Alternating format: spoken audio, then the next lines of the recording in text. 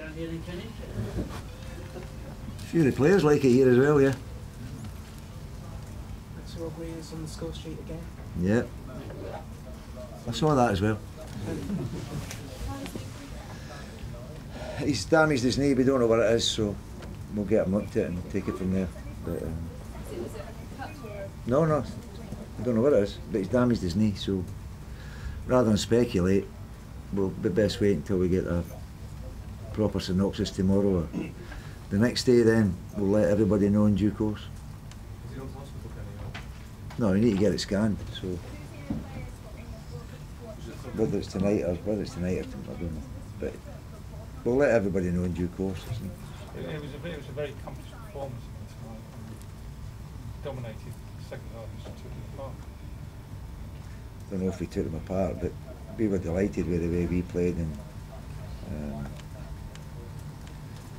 we said we would make changes and we did make changes and most of the lads that played have played in the earlier, earlier rounds of the cup so for us um, it was right that they played again and they were brilliant. Uh, the way they went about their work and the three when you think they've got Jose played 48 hours ago Jordan played uh?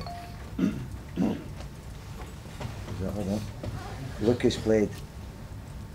And the way they went about their job coming in for the second game as quickly as what they did um, was fantastic. So we, we, we've had a good day uh, and I think we deserve to go through. Kenny, we don't want to um, sort of individuals as the way Craig played tonight. It's so similar to the Gary more than his sort of volumes. So the way he puts himself in what an asset he is to you. I think that's the things that we've said already, Dominic, about Craig. We know he's a fantastic footballer. He had a usually disappointing day on Sunday when his Speedo, who is regarded as a mentor, passed away. So, um, but to come back and play like that, that, for any of the players that have been a friend of his to have played over the weekend or, or have played uh, tonight elsewhere, it speaks volumes for him because he was very well liked and very well respected. So for the wee man, it's, it's great for him making the first goal as well. Uh, uh, well, took a free kick. It's He told Kels to leave it, it was going in. It's your first semi-final since your second coming. How significant is this for Liverpool? I don't know, I think the, the way we're progressing is more significant than semi-final of a cup. Especially a cup that's been cheapened by the actions of the people that run it.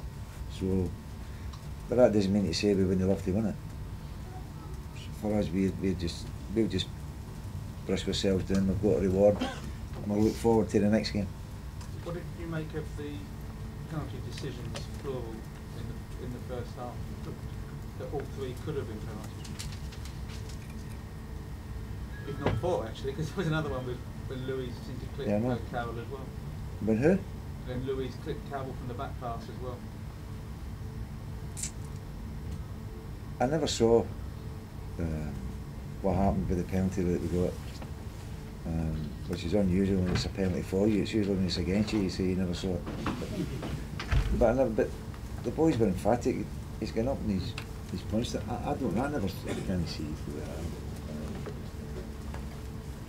so, some maybe if we hadn't got that one, we might have got the other one when Andy was pushed. I don't know, but I say there's no point in being picnic. you know when it's we've got to semi-final of the cup, we'll just take what we've got. Uh, the referee is exactly the same as us. He gets some right and some wrong.